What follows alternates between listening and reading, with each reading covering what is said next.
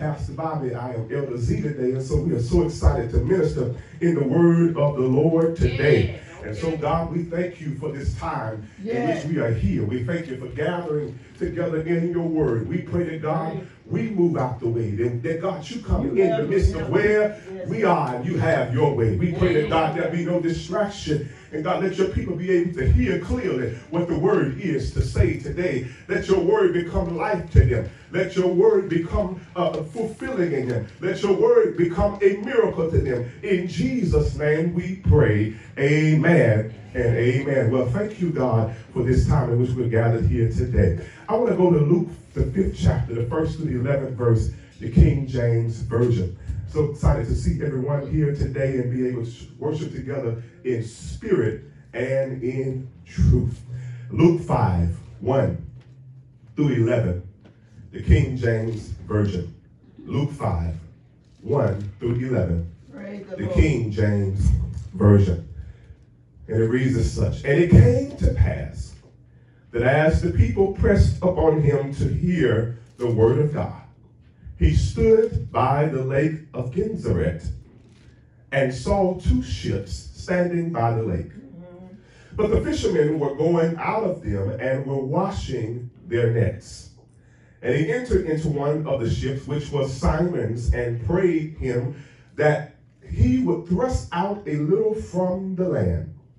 And he sat down and taught the people out of the ship.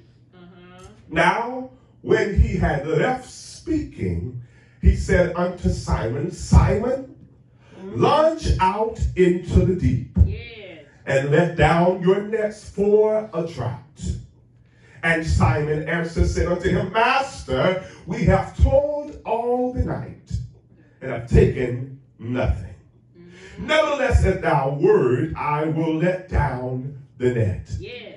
And when they had this done, they included enclosed a, a great multitude of fishes, and their net break.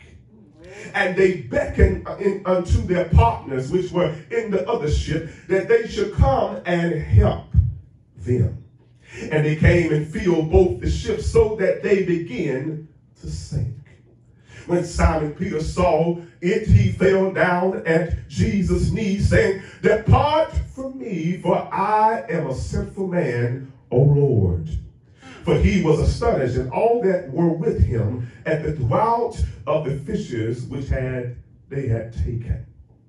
10 to 11 verse 8 reads it like this And so was also James and John, the sons of Zebedee which were partners with Simon. And Jesus said unto Simon, Fear not, from henceforth thou shalt catch men. And when they had brought their ships to land, they forsook all and followed him. If I can talk to you for just a moment, I want to talk from this point of interest coming from a verse, uh, coming from the from verse four. It says, "Lunge out into the deep." Lunge out into the deep. Look at somebody and tell them just lunge out. Come on, into the deep. Sometimes I think about the way in which I came to know Jesus. Uh, and how it was so simple to understand and become a part of the family. See, when you come to Christ, a new story begins to change the, the trajectory of your life. Have you ever realized that we all have a story of how we encountered Jesus, believe it or not? Uh, but, but, but we have to understand that you already have a very effective tool that will help you point people to Jesus Christ. That tool is your personal story. See, every believer has a story, and when you uh, tell how Jesus encountered you and changed your life, it yields powerful results. Uh, last week, we, we started our series, uh, this very short series about the gift to emerge. Last week, we talked about the ability to stir up the gift of God that is within us. But this week, I want to talk about you being able to launch out into the deep. I want you to realize that God is calling you to launch out into the deep. So what is emerge? What is emerge? Emerge is to become manifest, to become known, to rise from or as if from an enveloping fluid. It comes into view. it is the ability to rise from an obscure or inferior position or condition. The last point that I want to come from today is that emerge, it means to come into being through evolution. It means to come into being through evolution. That means that all of us go through a point in which we are called to evolve from where we are. And we're called to go through a level of something called a metamorphosis. And if you know about butterflies, butterflies go through metamorphosis. A dictionary defines metamorphosis as a dramatic alteration in outward appearance or composition the noticeable and quick metamorphosis of a larva into an adult organism.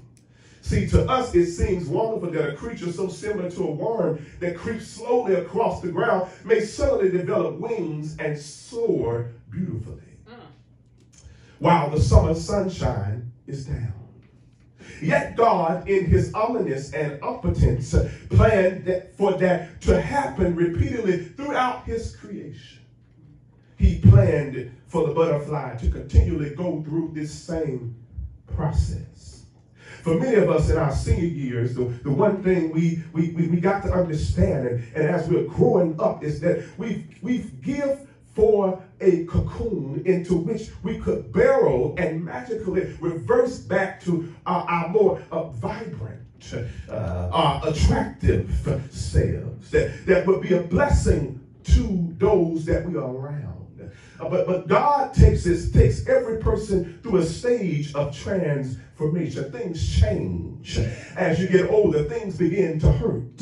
Uh, as you get older, things begin to shift. I'm having problems, a little arthritis in my knees now. But, but things begin to change in your life. And it's a part of your own metamorphosis.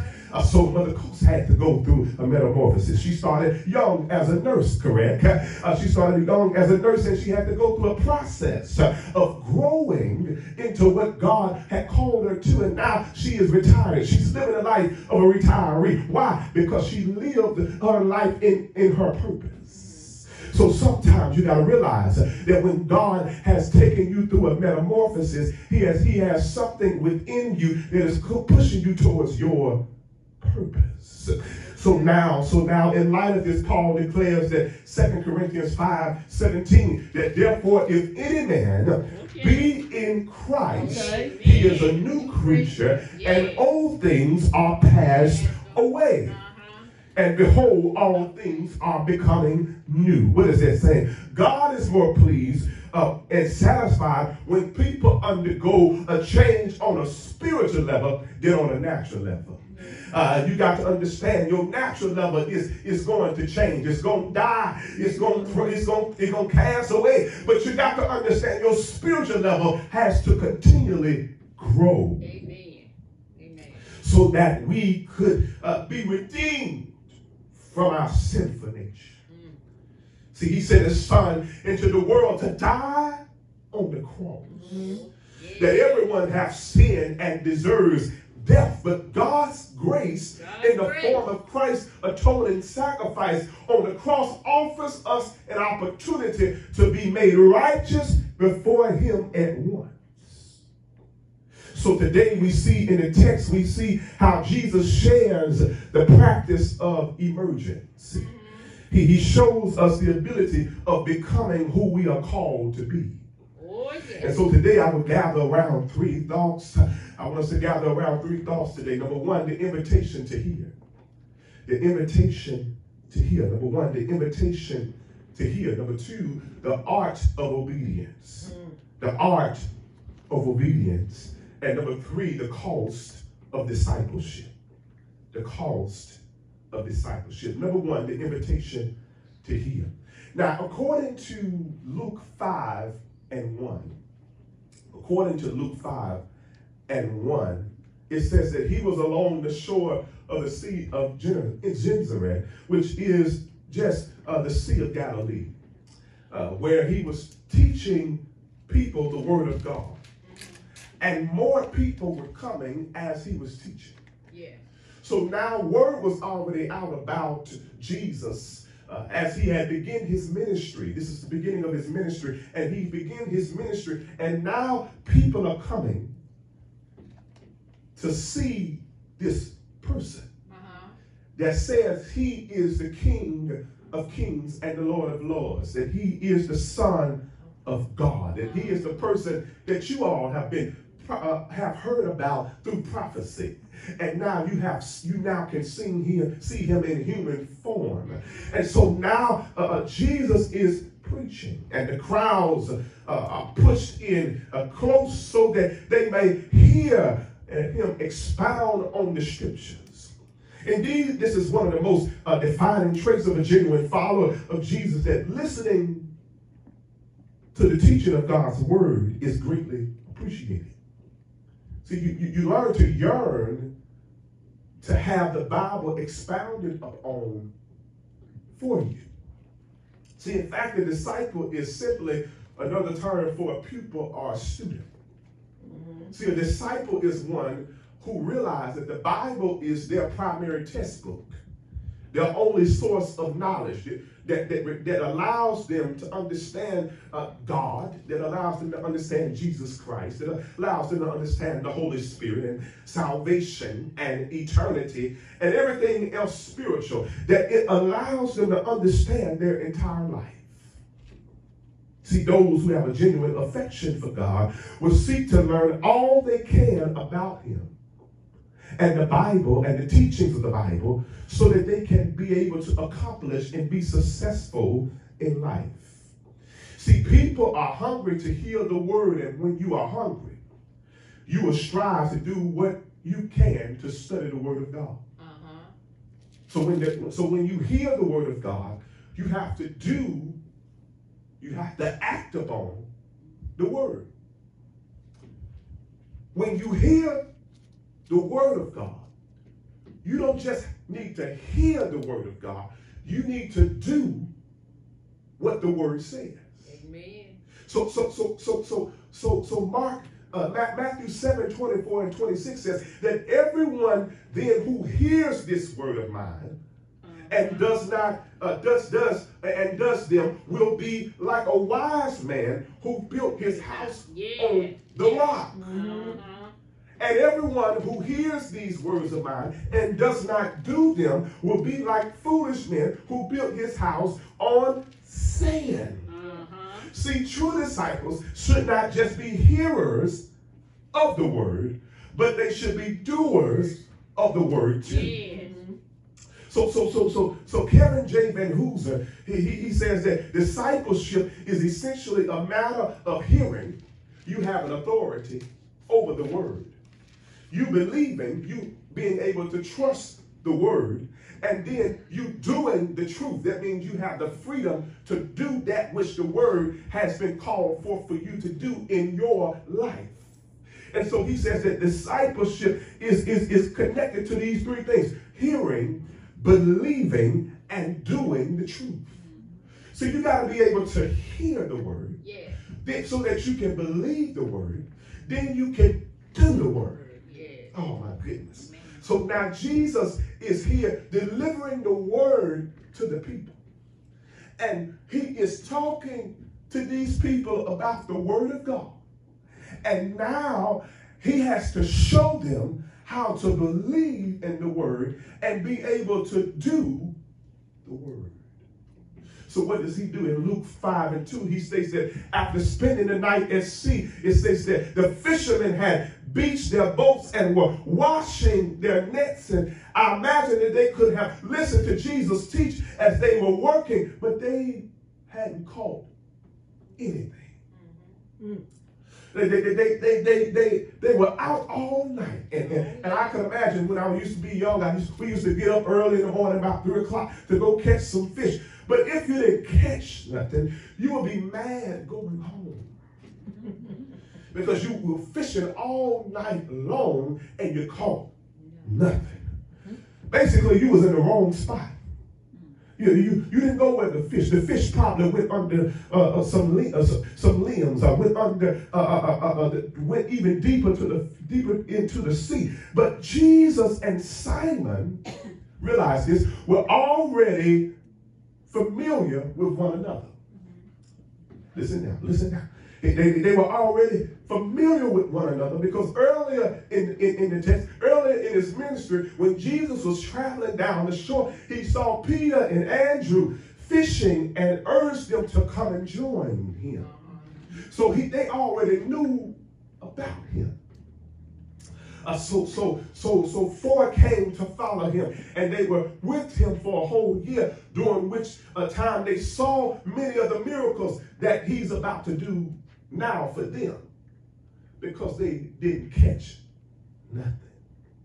Jesus teaches while the disciples cling their nets and, and throng press, presses closer and closer until Jesus boards Simon's boat. And he asks him to paddle, go out a little more, a little bit in the water. Mm-hmm.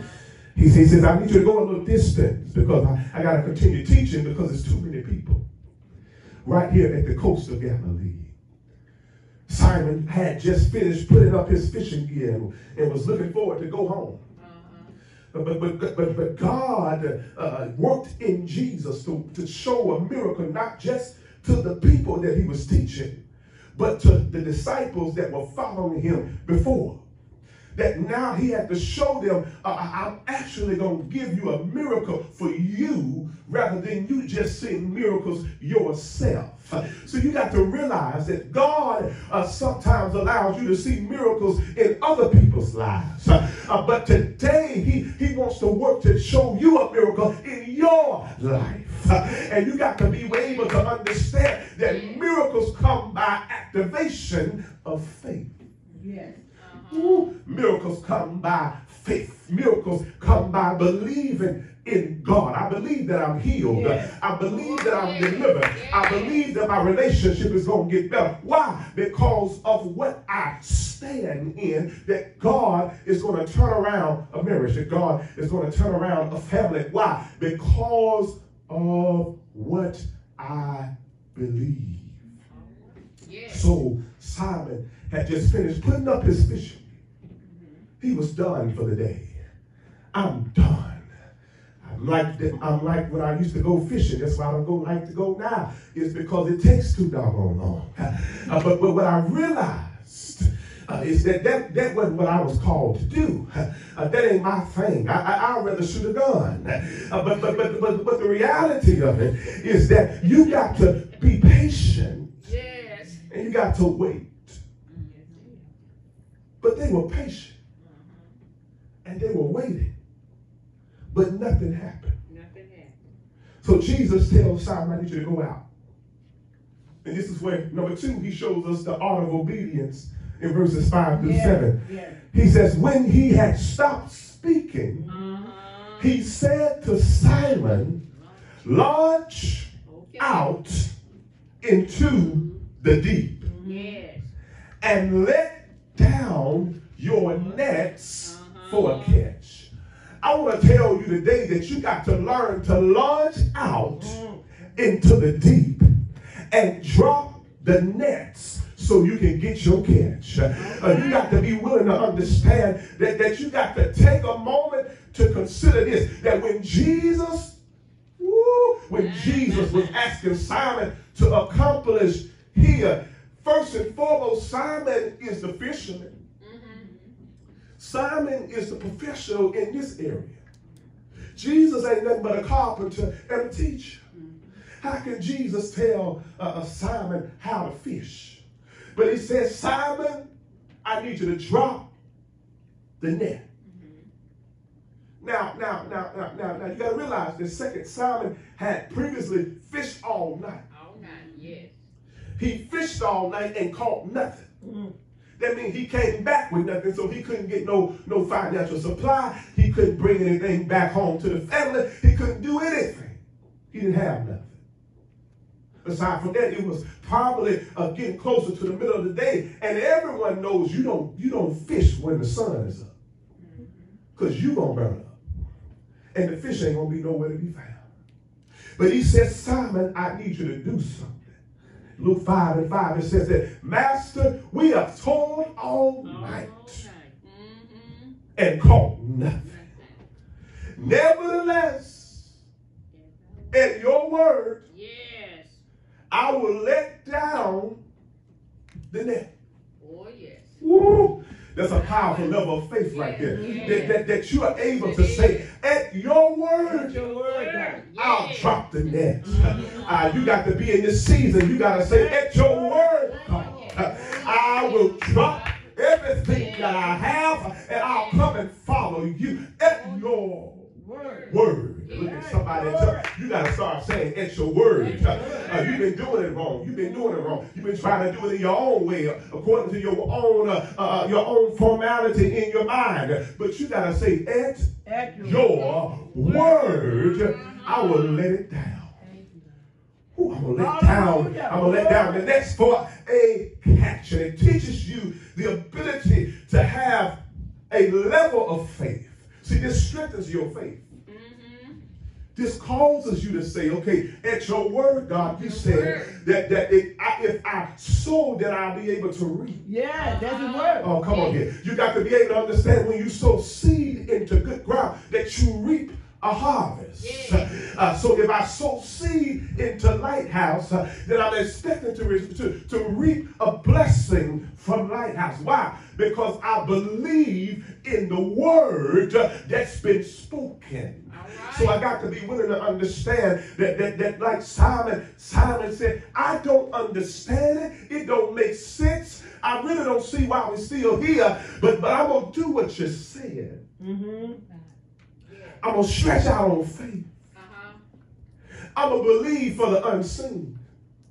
Because we've been out here all night. and ain't nothing happened. Nothing. But now since you come out here, big miracle boy, uh, you said that, that now something is about to happen in my life. Well, let me see if it's going to happen.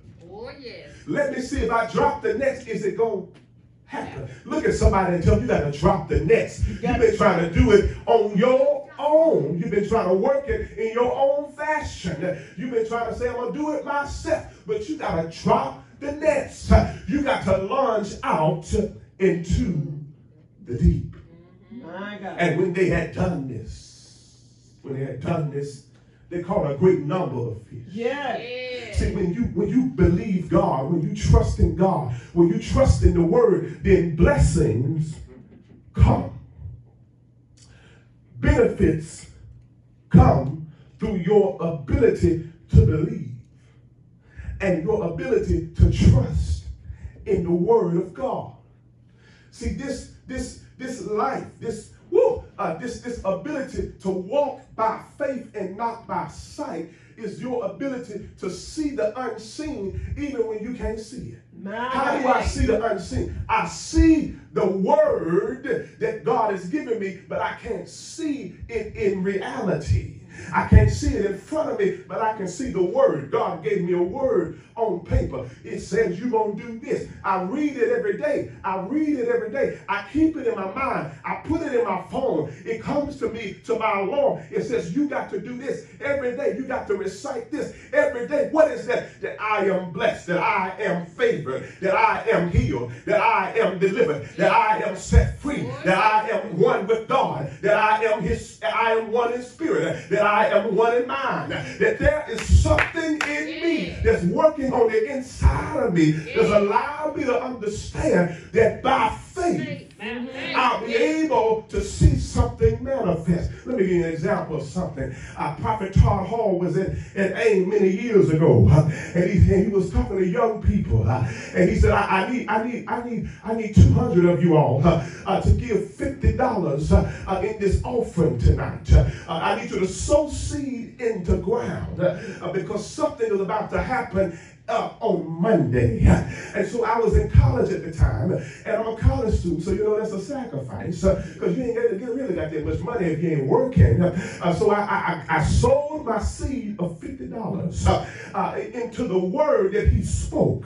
and when I went back and looked at my college scholarship uh, on that day, and when I was at Alcorn, I looked at my scholarship, and, and $3,000 was added on to the scholarship. Why? Because I sowed seed into, a, uh, into the word, but also believed the voice of the prophet when he said that something is about to happen on Monday. So I begin to text friends. Uh, what is happening for you? Uh, they, they begin to get a promotion on the job. They begin to see things take place. Why? Because they believe in the word that was spoken. And so when you when you trust in sowing the seed, uh, you then begin to see the reaping of the harvest. And so now we are in the season of harvest. And so God uh, has showed them a miracle. He showed them a miracle. He provides to them a great amount of fish. And it says, so they signal in their partners the other fishermen. Uh-huh. The same ones they were fishing with. And they ain't caught their neither that, that y'all come on over here and get some of this fish. Because we got too much coming on our ship. And they came and, and filled both of the ships. Mm-hmm. Yeah. See, though God instructs you to do anything, do it even if it don't make sense. Mm-hmm. Do it even if it don't make sense. See, see, they had tried this before. But now it's something about God. God, God will tell you to go try something again that you already tried. Yes, yes, yes. And then you said, God, I just did this. And I'm trying to see why you're trying to tell me to go do it again. He said, there's, he said, Zach, tell him there's something about when you obey oh, yeah. Yeah. what I say that I'll manifest what you needed in this moment. And it will come into reality because you obeyed the voice. You obeyed the word. You applied faith to where you were. See, sometimes we've been doing, we try to do stuff on ourselves. We we started a non-profit. We we tried to start a business. We we tried to start this, but we were not, not functioning in faith. Uh, we were not believing in God. I, I, remember when my grandmother would tell this story about how they got the shop and, and how they had to, uh, had, had, they were wondering why this man would not give them the property, why this man would not give them the property, uh, why he was giving them so much hell. But the reality was that they had missed the ingredients. They had to go and apply the faith of God to where they were because they wanted the property. Uh, so they went and began to pray. They began to pour oil uh, on the property. Uh, they began to say, God, we declare and decree that this property is ours. and so now on his deathbed, they come around and say that this man uh, has now signed this property over uh, to uh, these group of people. and so now the manifestation of God's word is coming into life for a couple that wants to advance their, their family and generations to come. Why? Because of faith. Lord have mercy. Because of faith faith comes by hearing. Mm-hmm. And hearing. Mm. So if I hear the word of God. Then my faith is activated to do some things that don't make sense. Uh-huh. She was praying and God told her to go do this. Why? It didn't make sense to go to a property that's not yours and then begin to go pray on it. It don't make sense for you to do something that, that, that you thought was not yours. But then it becomes yours. Mm-hmm. Oh, Lord have mercy. You just lost the revelation. You got to realize God will show you how to receive things yes. that ain't yours. Uh-huh. Woo! Uh, you, you, you, you obtain property that ain't yours. Mm-hmm. you obtain a business that ain't yours. Uh, but because you have a desire mm, uh, to do better and to walk aside with God and with the Holy Spirit, God begins to say, okay, I will give you something that, that's not even supposed to be yours. That they are giving you so much trouble in your life. Uh, they're showing you so many problems, but now I'm going to release it to you because of the faith that you have. Praise the Lord.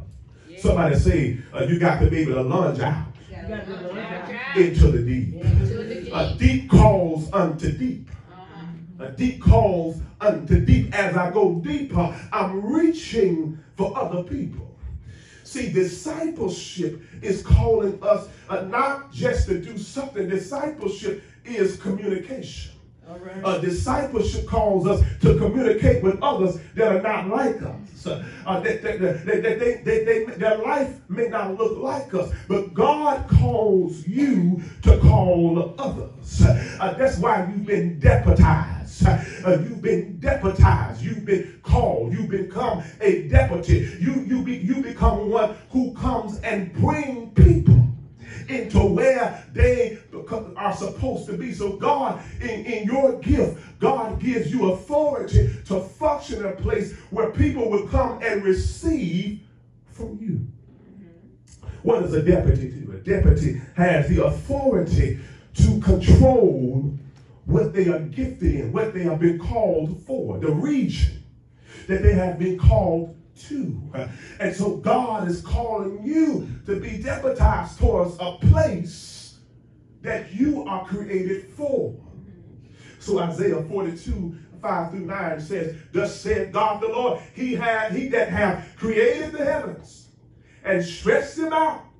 He has spread forth the earth, and that which cometh out of it he that giveth breath unto the people upon it, and spirit to that which is walking therein. I, the Lord, have called thee in righteousness, and will hold thy hand, and will keep this is what he's speaking over your life today. That he will hold your hand right. and will keep thee and give thee for a covenant of the people and for a light.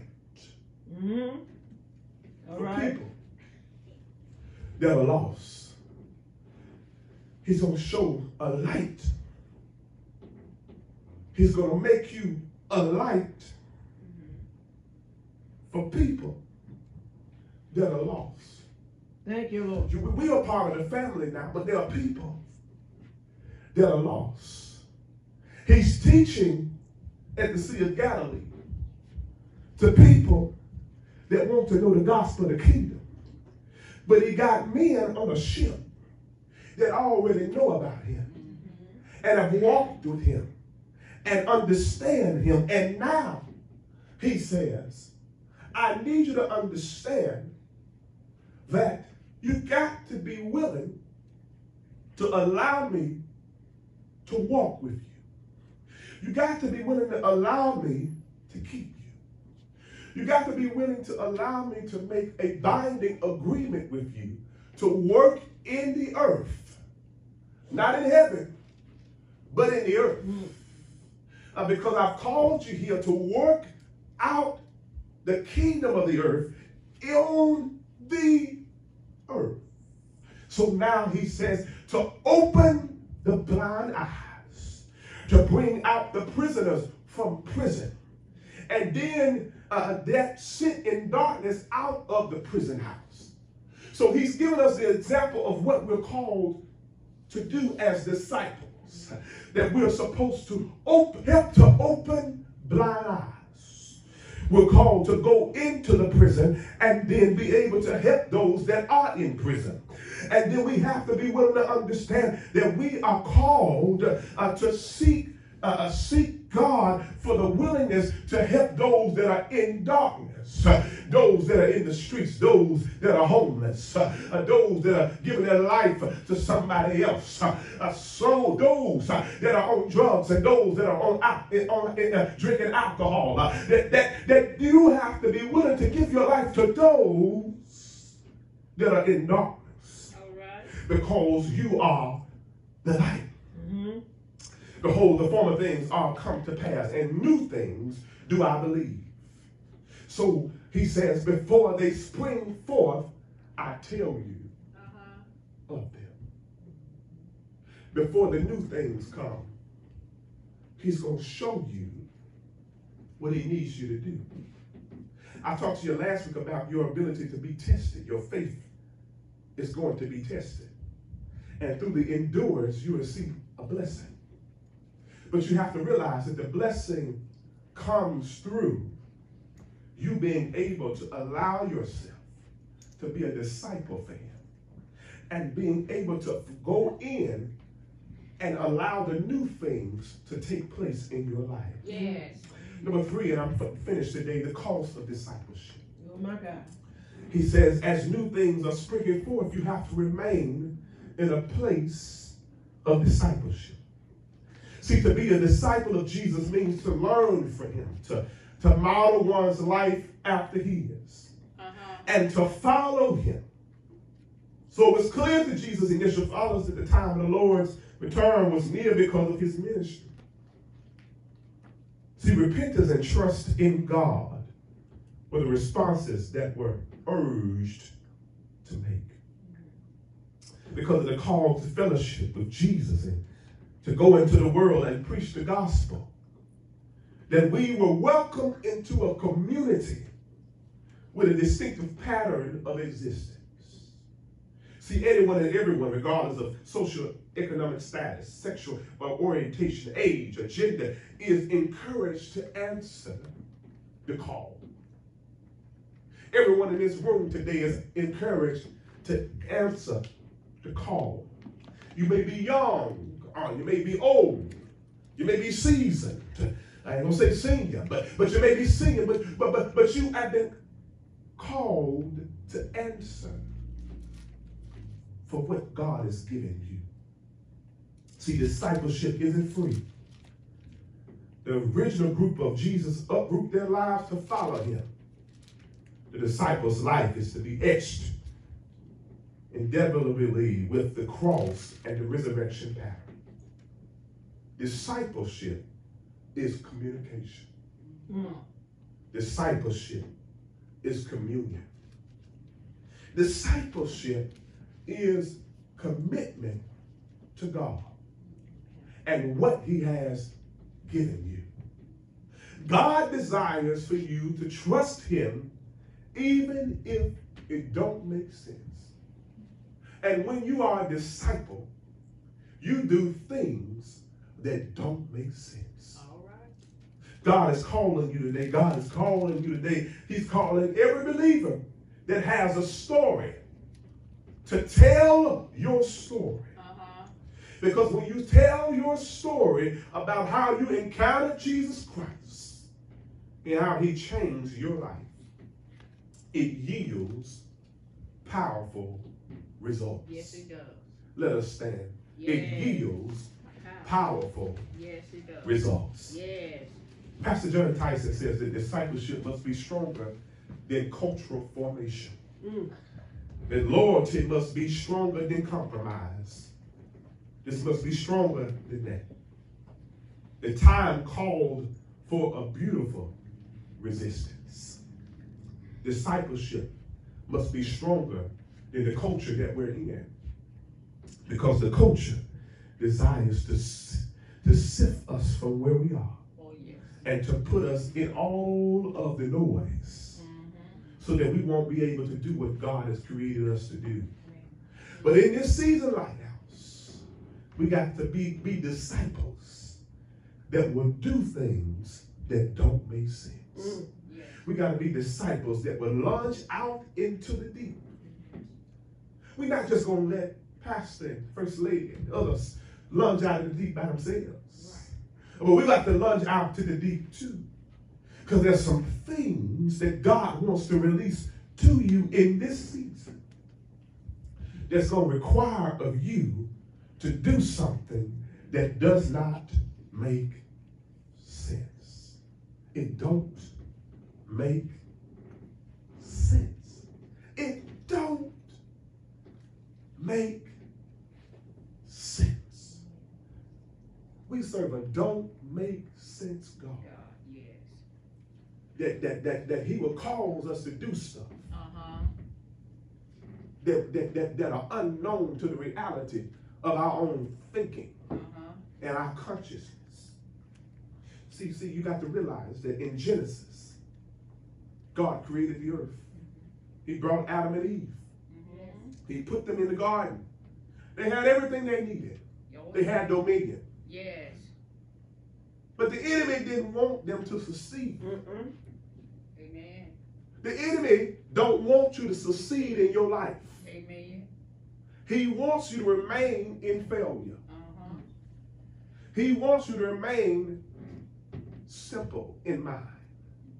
But when you come into a level of faith where you say that I'm going to believe in God no matter what, then that causes you to be strengthened for the battle that's ahead.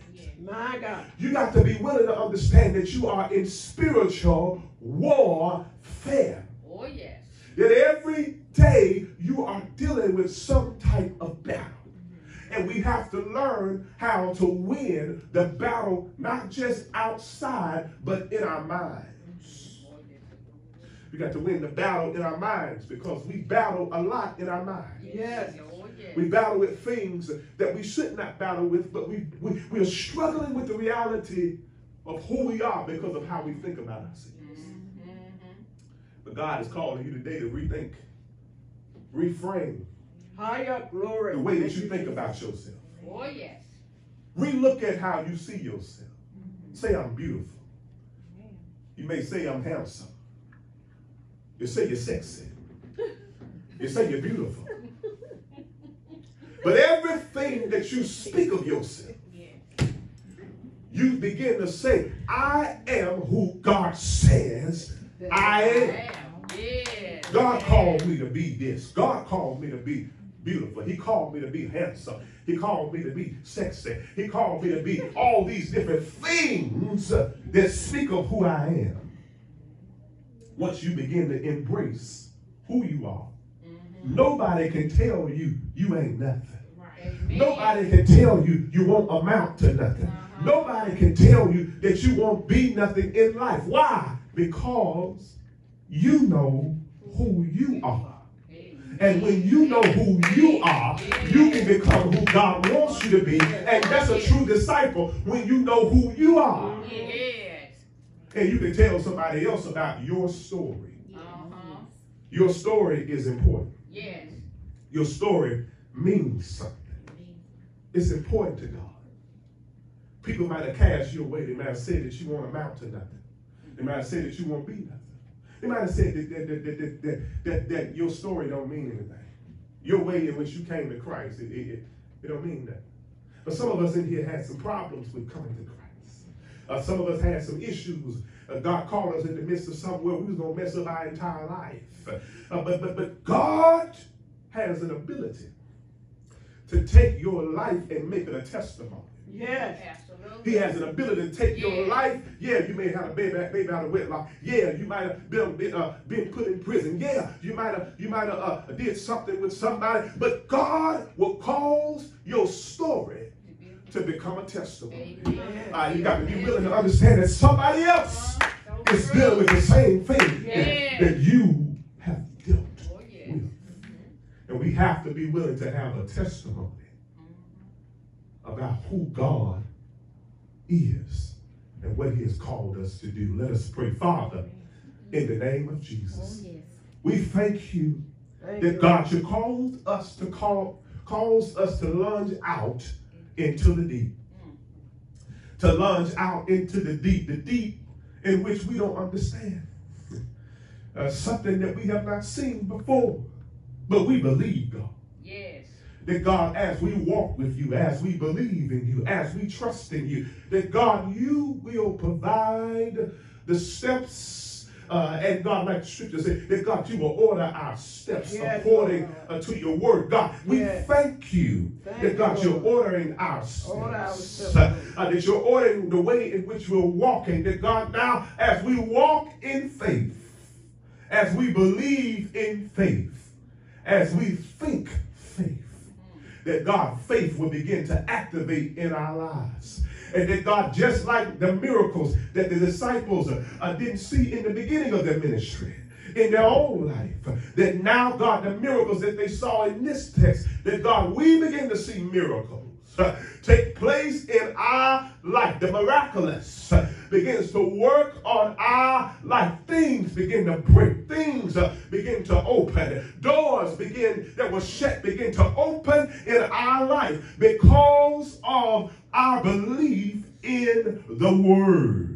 And so, God, now we thank you that God, your word, it brings life. That your word is what keeps us. That your word is what makes us. And we give you glory in Jesus' name. Everybody say amen and amen. Amen.